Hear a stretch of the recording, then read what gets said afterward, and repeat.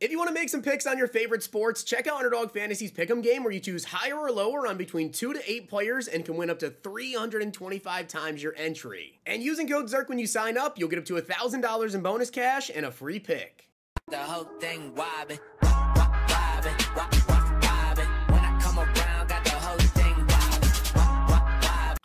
guys, so we have some Team of the Week reveals to get into and also some new XP objectives. I do want to give a shout out to Mark Martinez for being a part of the Noti Gang. If you guys want a chance to shout out the next video, drop a like in the vid. Make sure you guys are subbed to the channel. Notification bell on and comment down below. Noti Gang. Also, shout out to guys that copied my NFL picks this opening week. We had our greatest opening week ever. And again, last night, another massive day. We had almost $800 in wins. Anybody's been copying, you're definitely up. And tonight, guys, we do have a no sweat token available until midnight on Underdog, available right now. If your entry loses, you get the money back as bonus funds. And if you guys check out Underdog Fantasy right now using code ZIRK, you get up to $1,000 in bonus funds. And only when you sign up using code ZIRK, will you get both the CJ Stroud and the Josh Allen 0.5 yard free picks. And we have a promo every day of September on Underdog. Tomorrow, there's a CeeDee Lamb 0.5 free pick and more stuff coming this weekend. Also, guys, I did want to go over this because I know I'm going to get comments about it and I'm getting tweets about it, whatever. But in case you guys did not already see this, if you're on Xbox, there is this thing right here. It is 1,050 Madden points and you get buy one, get one free.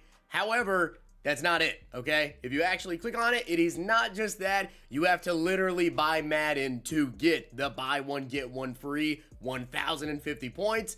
So just wanted to go over that real quick because getting tweets about it, yeah, not good. And I actually forgot to cover this earlier today, guys. We did get some new season XP objectives. I do also want to mention the make reg situation. If you didn't see my videos earlier today, we have a bunch of make rights kind of rolling out today. I still don't have my make rights for like the Justin Simmons LTD situation, which is going to be like a game time pack for the pack you open during that time frame. I still don't have mine. I got my AKA. That was it. I don't have my Christian Watson.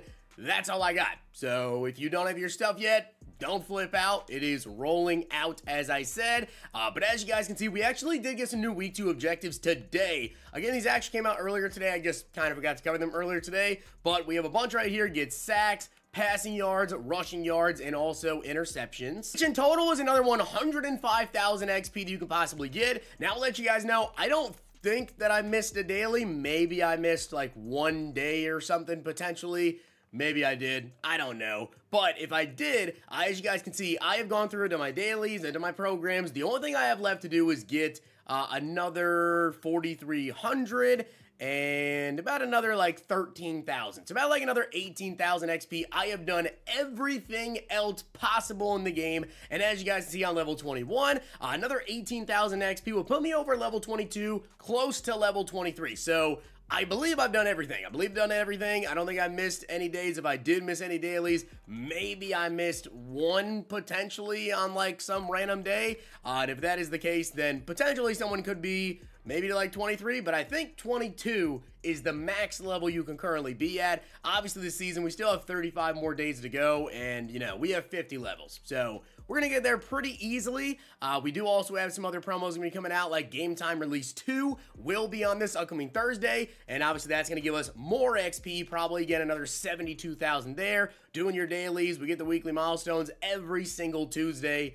Yeah, we'll get there relatively quickly, couple weeks. All right, guys, so let's get into the Team of the Week reveals. And yeah, as you guys can see instantly, this already is very interesting. So once again, uh, I will let you guys know, in years past, we have in fact got champions before that lost. And obviously, as you guys know, Isaiah Likely was a big reason as to why the Ravens were in the game versus the Chiefs on NFL kickoff.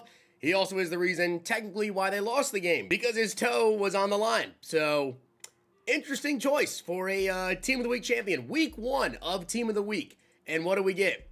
We get a team that lost that gets a champion. Very, very interesting. Uh, the rest of the reveals, though, with Team of the Week guys are going to be tomorrow morning at 10:30 a.m. Eastern, and then it should should drop at 1:30. Right? We'll see if there's a delay. As you guys can see, though, Isaiah Likely, 86 speed, 84 catch, 84 catch in traffic. Uh, does have 86 short route running, 84 medium route running, 69 run block. Very nice there. Has baked in Energizer. Now, comparing him to the best tight end in the game, it's Vernon Davis. 87 speed, 88 excel, 86 speed over here, uh, 68 strength, 69 run block. We have 77 strength. We also have a run block of only 52. So likely is a little bit better of a blocker. Uh, 87 catch, 86 catch in traffic. We have 84 and 84. 86 spec catch, Vernon Davis, 86. Route running of 87 and 86. Over here, we have 86 and 84. And then Vernon Davis as well. By the way, I mean, I understand Vernon's the best tight end in the game. This is an 87 overall versus an 87 overall. It's not like I'm using an 88 versus an 87 here to do this comparison.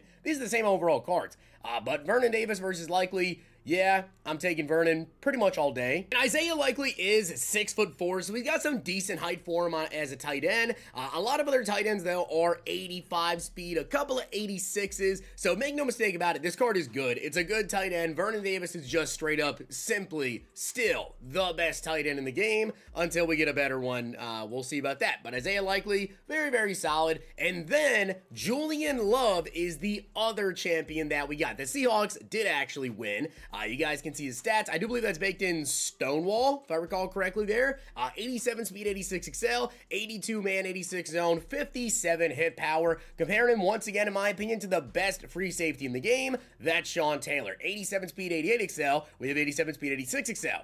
84 tackling. Sean Taylor uh, does have a tackling of only 81. The hit power, though, obviously is a lot better. 88 compared to basically nothing with that 57. And of course, with how crazy hit sticks are in Madden 25, that's a big advantage to have the much, much better hit power. Uh, 86 play rec, 86 pursuit. Over here, we have 83 play rec. Uh, we also do have pursuit of 86. Man in zone of 80 and 85. We have 82 and 84. So I don't think these champions are bad at all. I think Julian Love is actually a very, very good coverage safety. And I think that Isaiah Likely is a pretty good tight end. However, like I said, these cards, they're just not the best in their position like maybe you'd want to see from a huge team of the week drop with week one. So those are the team of the week champions. Like I said, guys, rest the reveals will be in the morning. And also just be on the lookout because I will tell you, we don't know how team of the week is actually going to work this year. I know that we've had team of the week preseason already and we had two releases of that.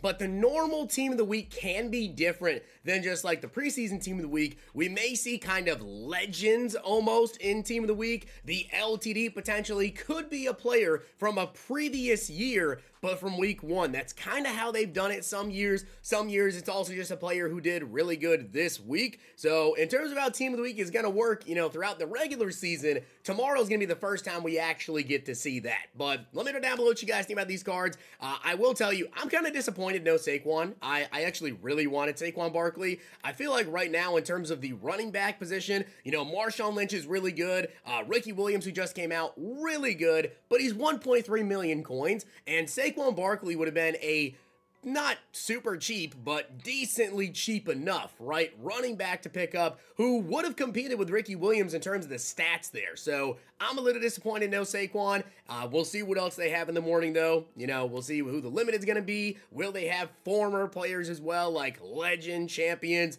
We shall see. Hopefully you guys enjoyed. Drop a like on it, hit that sub button down below. Make sure to check out Underdog Fantasy. Use code ZIRK. Follow me over on Twitter for my picks. And don't forget to use your no sweat token by midnight tonight. If you guys enjoyed this video, check out these.